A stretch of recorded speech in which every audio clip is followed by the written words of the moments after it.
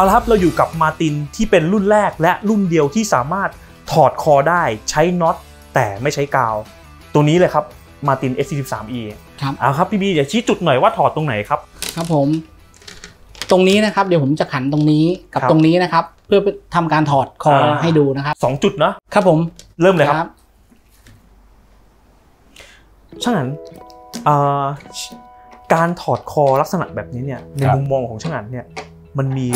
ข้อดียังไงอ่าข้อดีแน่ ๆ เลยก็คือว่า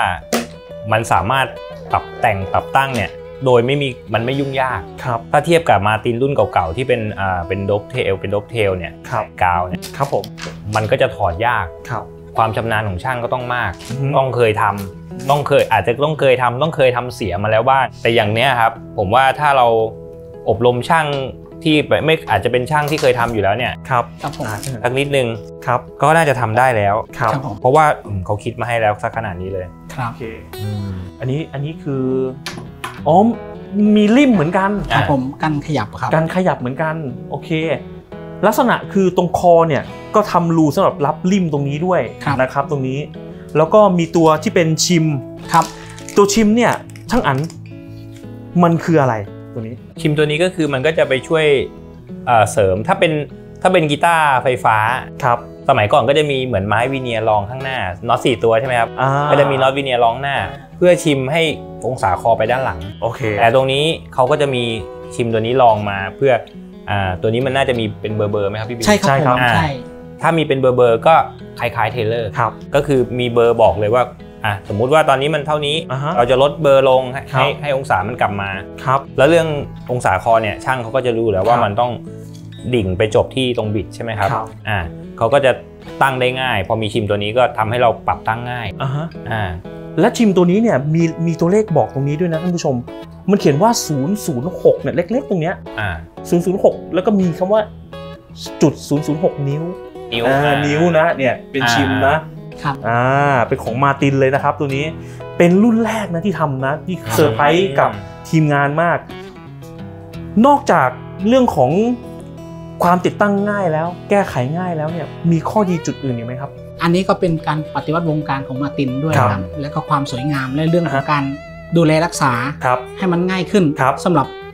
สำหรับคนที่อ่าต้องการนวัตกรรมใหม่ครับจริงมุมมองที่ผมเห็นนะพี่บี ถ้าคอมีปัญหา สมมติคอตัวเนี้ยครับ หักเอาคอจาก Martin เนี่ยตัวครับ ใหม่เนี่ยเปลี่ยนเลยเปลี่ยนเลยๆเปลี่ยนได้เลยครับ ใช่ครับ แล้วถ้า body แตกหรือ body แบบ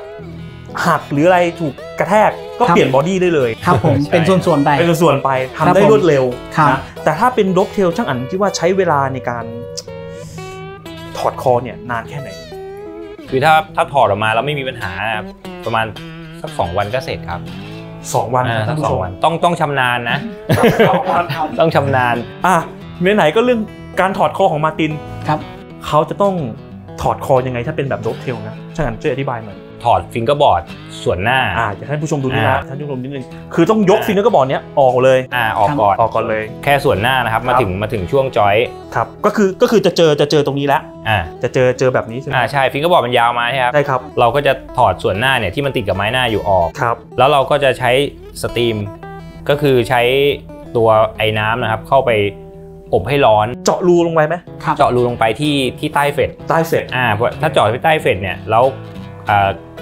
ขนาดของรูเนี่ยก็คือต้องเล็กพอๆกับ fret เพื่อที่จะตอก fret เข้าไปปิดก็จะมองไม่เห็นโอเคอ่าโอเค แล้วเรา steam เข้าไปเนี่ยครับ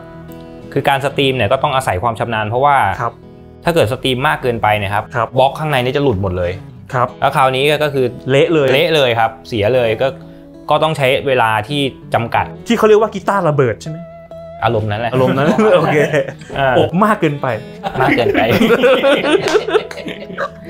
โอเค ก็มันก็จะหลุดหมดเลยครับพอมันหลุดออกมาก็คราวเนี้ยเวลาเราไปซ่อมก็เหมือนกีตาร์เราช้ำแล้วใช่ครับอ่ามันช้ำแล้วคือถ้าถ้าถ้าเราแบบใช้ความร้อนพอประมาณเหมาะสมมันก็จะออกมาได้ปกติอ่าครับอ่าเป็นความรู้นะครับ คือ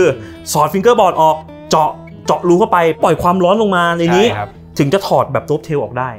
2 วันครับ แต่ถ้าเป็นลักษณะคือ